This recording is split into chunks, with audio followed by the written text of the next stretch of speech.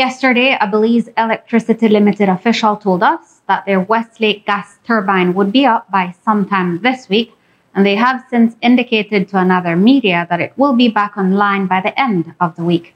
This means that we will continue experiencing power rationing if Mexico's CFE curtails its power supply to Belize.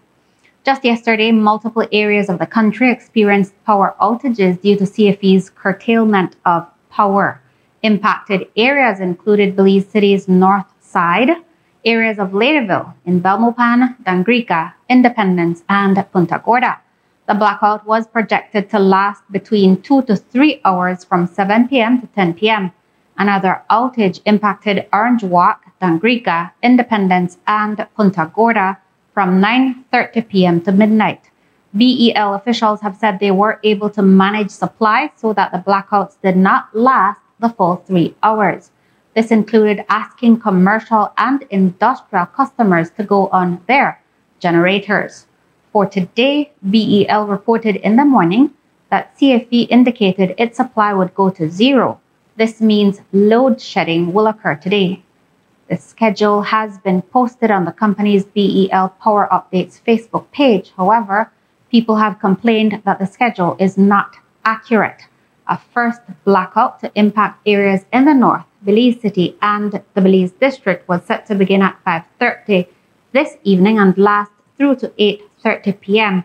Another will impact Corozal, Belmopan, San Ignacio, and Dangriga from 8.30 p.m. to 11.30 p.m. Local power consumption peaks at between 115 and 125 megawatts on any given day. In-country generation only reaches 95 megawatts. It is constituted by power sourced from the Fortis Belize company operated dams out west. Fortis last week reported it is generating 43 megawatts of electricity, equivalent to 40% of local demand.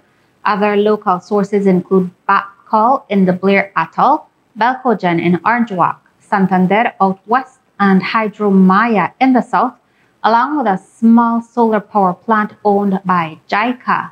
Meanwhile, Mexico's CFE supplies Belize with up to 55 megawatts of energy.